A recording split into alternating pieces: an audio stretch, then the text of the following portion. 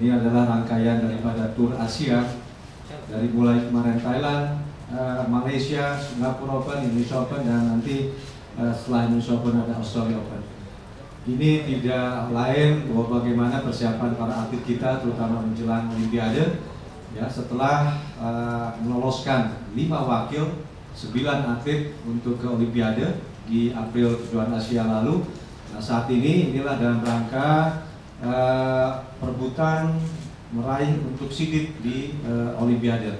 Sehingga di Tour Asia ini memang kita atur betul uh, diskusi dengan para pelatih, atlet-atlet yang uh, khususnya Olimpiade ini uh, apa namanya pengiriman kejuaraan ya, yang memang betul-betul uh, berhitung uh, siapakah yang potensi untuk katakanlah sidit 1, 2, sidit 5, 8 ya. Nah ini ada beberapa pemain khususnya yang Olimpik ini uh, ada kemarin yang turun di uh, Thailand, ada yang turun di uh, Malaysia dan ada yang di, uh, ikut sertakan di Singapura Indonesia Open.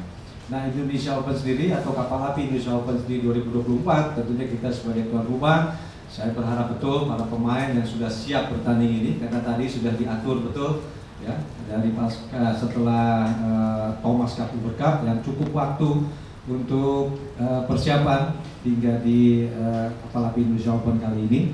Untuk kita berharap di lima sektor yang ada, tadi sudah sampaikan kita ada 30 pemain di wakil uh, lima sektor tunggal putra putri, ganda putra putri, ganda campuran.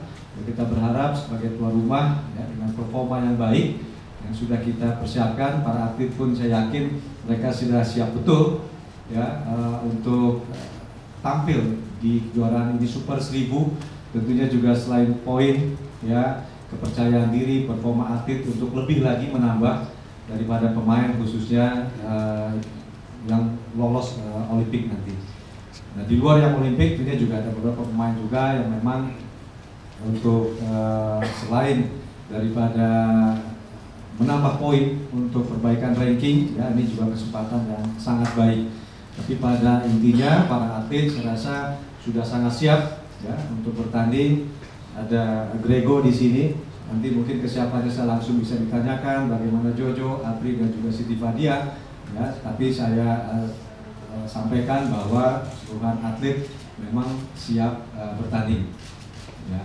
Kalau target-target di Indonesia Open kali ini, ya ini tentunya juga kita sebagai tuan rumah sekali lagi ingin sebanyak-banyaknya ya dan potensi itu juga uh, sangat terbuka kesempatan ini juga sangat uh, apa namanya uh, terbuka bagi pemain-pemain Indonesia khususnya ya, baik di tunggal putra, di tunggal putri, di ganda putra, ganda putri dan juga ganda campuran.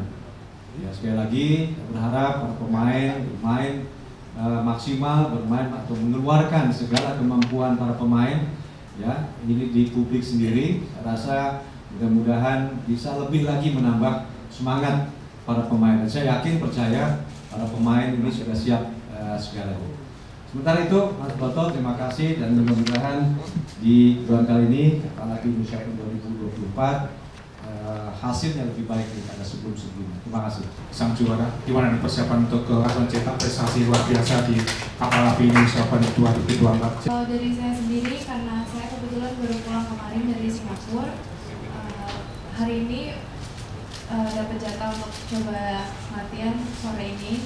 Jadi mau maksimalkan latihan di sininya supaya tahu kondisi angin dan yang lain-lainnya sih karena ini nggak pertama kali juga saya bertanding di sini jadi pastinya kurang lebihnya udah tahu.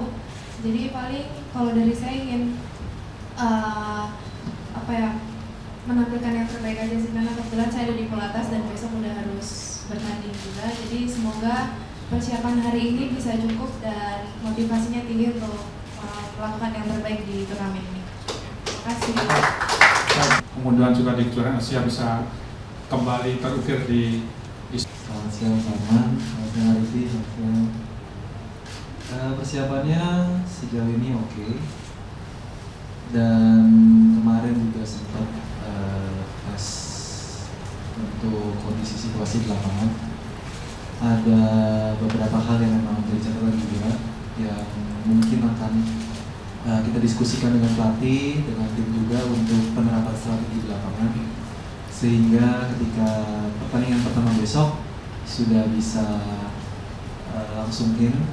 Dan ya saya berharap juga dukungan dan supporter dari uh, para pecinta tangkis Indonesia bisa memberikan kami semangat yang lebih lagi untuk dapat uh, meraih hasil yang maksimal.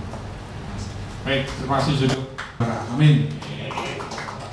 Oke, langsung saja kita sekali pendukung para badminton lover akan memberikan taman semangat. Silahkan Pak Dia, gimana? Nanti juga sore ada latihan buat makin feeling lagi karena besok udah bertanding. Pastinya main di Indonesia mau kasih yang terbaik. Amin, mantap.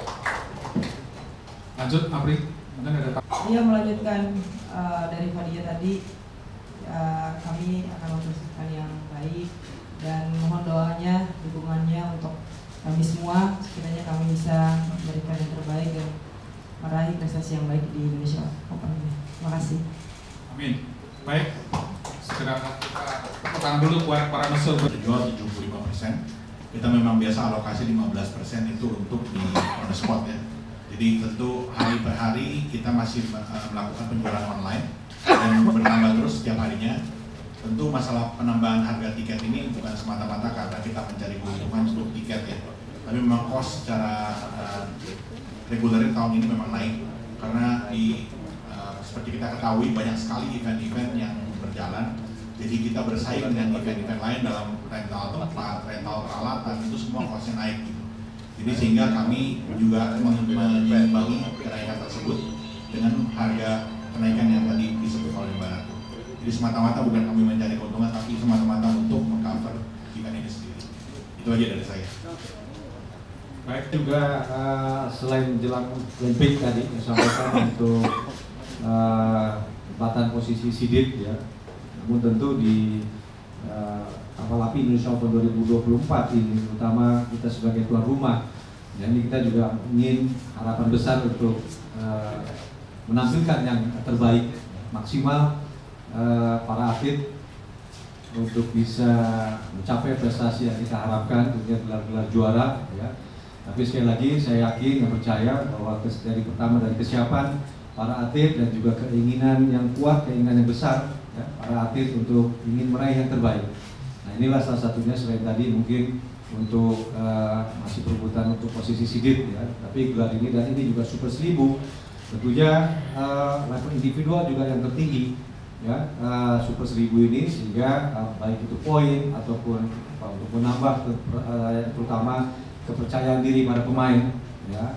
Uh, apabila bisa meraih gelar juara ini ya. Dan kita berharap performa uh, terus ditingkatkan. Sekali lagi tadi uh, ini back to back event dari Georgie tadi sampaikan dari Singapura ke uh, Indonesia Open saat ini. Nah kemudian tetapi ini kan sekali lagi sudah dijadwalkan ya, para pemain juga dengan kesiapannya uh, yang uh, disampaikan Mas Broto tadi Jojo kalah pertama ya ada contoh sebelumnya ya kita harapkan di sini uh, apa uh, motivasi dan konsentrasi performanya semuanya kita harapkan lebih baik. Ya bermain dengan all out berjuang maksimal mengeluarkan segala kemampuan ini yang paling penting yang bagi para atlet itu mungkin apa salah satu pertandingan yang terbesar untuk individual selain All England, China Open, dan Malaysia Open. Dan terlebih lagi karena Indonesia Open adalah rumah sendiri ya saya sebagai atlet uh, pastinya punya impian atau punya harapan bisa menjadi juara di sini juga. Jadi uh, apa ya salah satu salah satu impian atau salah satu keinginan saya juga jika bisa uh, menjadi juara di sini itu salah satu hal yang bahagia lah. Tapi terlebih dari itu ya fokus kita memang untuk pengumpulan poin untuk seeding di Olimpiade jadi ya itu salah satu hal yang kita fokuskan. Gimana melawan yang kita sudah tahu yang di Olimpiade nanti gitu. Jadi makin mematangkan juga pola permainan kami dan karena kami juga sempat absen beberapa turnamen gitu jadi yang kami lagi apa namanya menaikkan itu adalah uh, pola permainan kami gitu jadi sama uh, ditambah lagi kepercayaan diri kami uh, dan sekiranya kami bisa membawa ini sampai ke Olimpiade. Gitu jadi ini ibaratnya kita nabung dari sini dulu gitu, sebelum menuju ke Olimpiade. Piknya, ya. Sudah memberikan yang terbaik untuk menangani itu. Jadi pastinya uh, ada perannya masing-masing sih mas. Kalau dari saya saya akan fokus ke bagian yang saya bisa lakukan. Tapi kalau kiranya saya perlu bantuan dari yang saya nggak bisa lakukan contohnya dari medis ya saya akan uh, menanyakan itu ke yang lebih ahli gitu. Jadi kalau dari saya sendiri saya akan melakukan yang terbaik dulu di uh, turnamen ini di Indonesia Open.